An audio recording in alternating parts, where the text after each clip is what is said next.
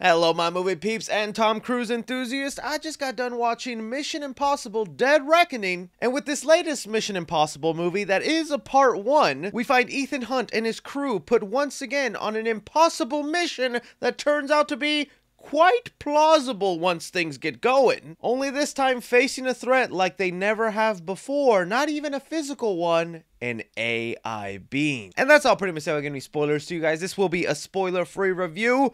Ethan Hunt, man. Okay, I'm not someone that particularly dives into like the James Bond movies. I just never really saw one fully. I think I've seen bits and pieces of all different kind of Bond movies over the years. So in my mind, I've always kind of had Ethan Hunt and the Mission Impossible franchise as my James Bond-esque films. I think it's amazing that ever since the series came back with Ghost Protocol, every sequel has been able to one-up the previous one, not only in quality, but also in the stunts, action, performances. I always end up going to watch a Mission Impossible movie and sweating from every crevice because how intense the story can get. I think even Mission Impossible 2, while it's not the one I go back to a lot, it has some flair to it, it has some style. It could have easily have swayed the franchise into going the Fast and Furious route where everything was just purposely ridiculous, huge, and dumb, but with some style. Mm, okay, pigeons flying around everywhere. That's how John Woo liked it. And on the opposite side of that, even though I know it's not the best Mission Impossible, my personal favorite has just always been Part 3. I feel like Philip Seymour Hoffman was one of the better villains in the franchise. It had a really adrenaline rush story, and it's also kind of the underrated film that set up a lot of things that'll carry on for the sequels. So now moving on to Mission Impossible Dead Reckoning, I know Tom Cruise is gonna bring it, and I'm not even gonna sugarcoat it. I freaking love this movie. I thought it was fantastic. I continue to walk out of these movies going, how? How do they possibly keep making sequels to this franchise and each one just feels better than the last one? Now, I'm going to get into the things I really enjoyed about this movie, but there are going to be a couple of things that I feel will draw people back more on this one than other installments because like they were trying to mention, this is finally going to be the closing chapter of the Mission Impossible franchise. It's part one, and part two is supposed to end it all. But recently, Tom Cruise came out in an interview and said, Hey, I want to be like Harrison Ford and Indiana Jones and do Mission Impossible movies till I'm 80. There's a very good chance then this franchise isn't ending anytime soon. And you know what? With the consistent quality of these, keep it going, Cruise. I'm going to keep watching. It is an understatement to say how good Tom Cruise is in this role. Like, the man truly just delivers in whatever whatever film he's in, completely immersing himself into the actual role and also physically. The things he does and prepares for these movies, I think, are wild and might be the last true action star we got. And even on that subject, a lot of us have maybe seen the behind the scenes video or the build up to that stunt, but seeing it in the actual film with the context, what's at stake, oh man, it is such a sweet treat. I did like in this one how Ving Rhames and Simon Pegg's characters both kind of were able to interact with one another more. They kind of have the same job on the team, so we almost never really see them collabing. And this film, they kind of brought that up. They're both the tech heads of the group, and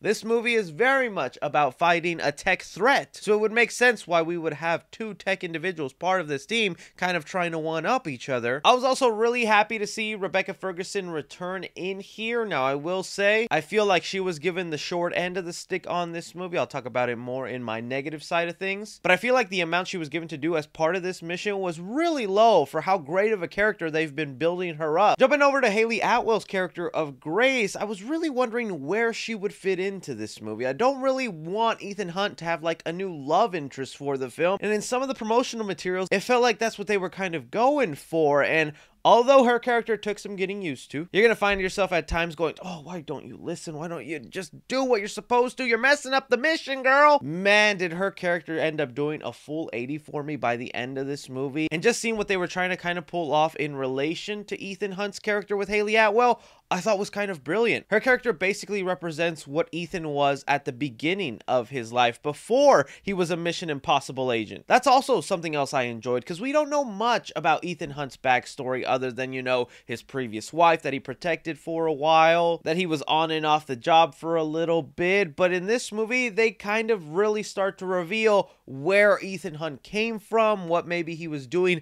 before he became an agent. And all of those themes come into play in full circle sequel with Hayley Atwell, and I really kind of enjoyed that aspect of the movie. I think some people might still get confused watching it and think that Ethan Hunt's trying to pull a romantic relationship with her, but it's more of a mentor role. Getting on to the villains of the film, here we do have some actual human beings. In fact, there's a couple of villains from different angles trying to go after Ethan. We all know the ongoing joke that almost in every Mission Impossible movie, Ethan Hunt goes rogue. And just like in the last film, they continue to address that here and to bring up, you know, if this guy goes rogue every time, and every time he goes rogue, he saves the day, why do we keep going after him every time he goes rogue? Maybe he's doing it for a reason. But if I had to pick a standout out of these human villains, it would definitely be Pom Klementieff. Some of us might know her as playing Mantis in the Guardians of the Galaxy. She plays this sort of right-hand man assassin to the bad guy. And again, the things they do with this character from the beginning to the end of the movie, I found so brilliant. She's not just a formidable foe, poses a real threat to Ethan Hunt, but the movie doesn't end up just using her as a typical henchman just waiting to be killed off. If anything, they kind of use her to enhance the actual big threat of the movie, because I want to talk about that for a sec. This AI villain. Now, I don't know if maybe I just wasn't paying attention in the trailers or TV spots leading up to Mission Impossible, but I didn't really know this was going to be an AI driven narrative. You find out very early on that's what's at stake, and this AI device, whoever is in charge of it, could do some real destruction to the globe. And since I didn't know about this going into the movie, and once it was explained, I kind of sat sat back in my chair and went, oh, they're going to tell us an AI driven narrative.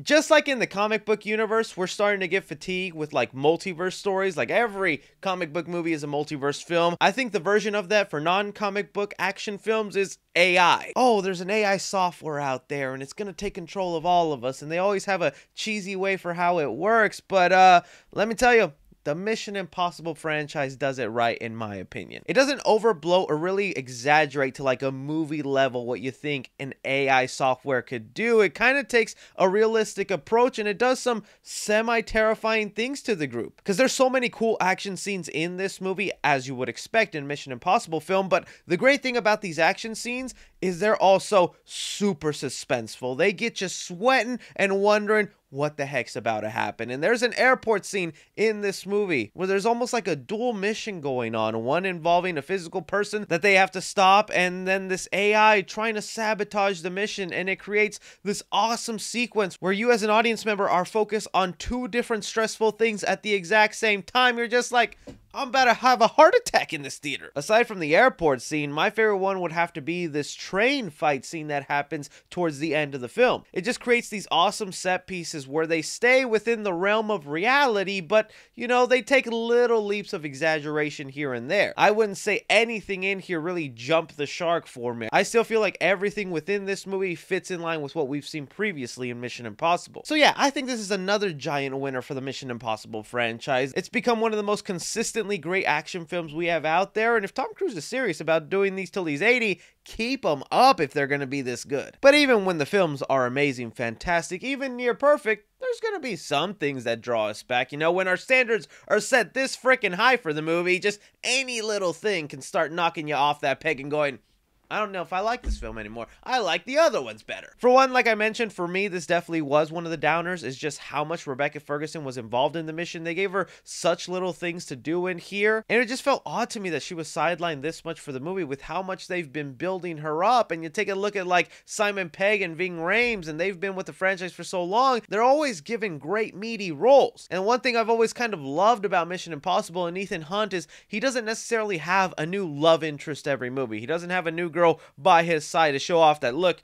I can kick butt and take butt. You know what I'm saying? So it was kind of nice that we had a consistent female character thrown in there for these action movies that could be paired up with Ethan Hunt. And then for her to barely be involved in the mission, I was just kind of like, oh, Okay, I wonder why they did that. The next thing here is, I think, super minor, but I think is going to be noticeable to some people out there. While I mentioned there are some great action sequences, and they're pretty long, meaty sequences. There's one where Tom Cruise and Hayley Atwell are inside a Fiat, and they're running away from people.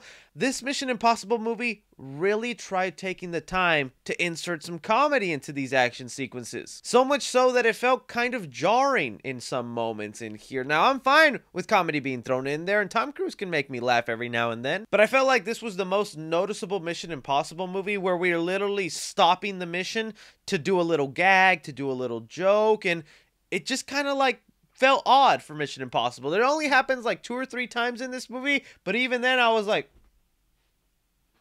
okay, this is something. I will admit, one of those moments had me actually bursting out laughing here, and it's where Simon Pegg is basically telling Tom Cruise, oh, you need to ride your motorcycle off into the air, and, and Tom Cruise is listing off a bunch of realistic reasons for why that's a terrible idea. I was like, oh, I like this. And again, not a bothersome thing to me. It should be quite obvious with the words part one in the title, but uh, I mean, this is the year of cliffhangers, you know, Fast X, Spider-Man Across the Spider-Verse. People do not like an incomplete story, and so that's really just kind of like a warning to you. I thought where the movie ended was a nice, happy little place. It definitely has me intrigued and interested for more, but I don't think it's as big as a major cut as Fast X or Across the Spider-Verse, where you're going to end the movie going, no, play the rest, show me the rest. It's kind of like mission is going to take a pause here and where this mission ended could pick back up in a couple of months in a year if it wants or it can pick up immediately where it ended there. I feel like it's a really clean spot but you're definitely still like oh there's more to this story. But really, again, those are just minor things. It's that thing I mentioned. It's a such high quality, consistent franchise.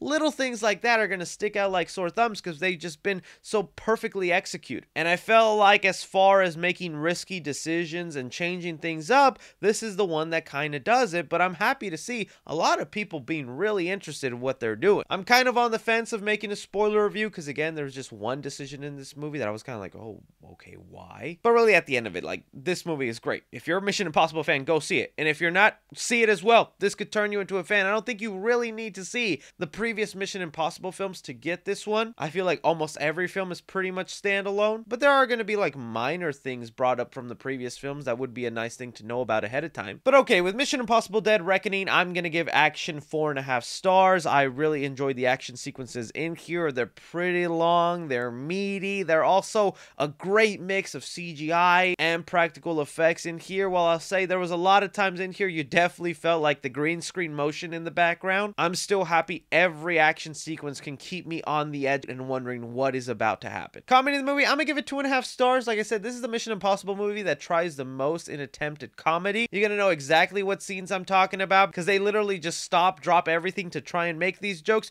before they continue on. And while some jokes land better than others, I didn't think it was that big of a deal, but it is gonna be noticeable. Drama in the movie, I'm gonna give it four and a half stars. This is what I mainly go to Mission Impossible for. You can give me crazy, fun, ridiculous action scenes, but if you don't have a story that makes me care about the stakes involved with these action scenes, they're almost pointless. They're just eye candy and it's junk food for the eyes. So to me, it's always great seeing Mission Impossible action sequences because they really are just the cherry on top to this compelling story you're getting. And with them starting to tackle an AI threat and the way they handled the things this AI threat does, I thought was great in the film, I'll give one star to, and that's mainly just for what the capabilities of AI can do. It's becoming more of a realistic thing in our modern age, and since Mission Impossible takes a sort of realistic approach to this device and what it can do and how it hinders their mission, I feel can actually be kind of scary. Suspense the movie, I'm gonna give it five stars. I will admit the movie starts off a little bit slow once they're setting up, you know, what they're going after, what this AI can do, and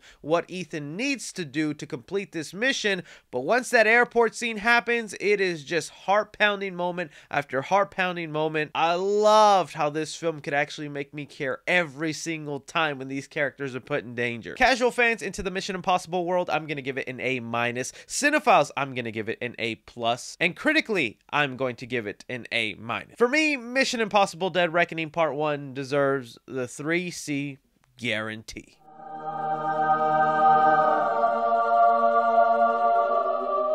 Honestly, if I had been doing YouTube since the days Ghost Protocol came out, every single Mission Impossible film from Ghost Protocol all the way now to Dead Reckoning would get a 3C guarantee for me. They're just some of the best action movies that we got going on right now, so definitely go see this movie, man. Get excited for what maybe is the finale or maybe is just one of the arcs in this ongoing Mission Impossible story. Let me know what you guys thought about this movie if you got around to seeing it. Anything and everything, be sure to like, subscribe, follow me on Twitter at 3C Films or on TikTok at 3C Films. But as always, I'm Chris. Take care.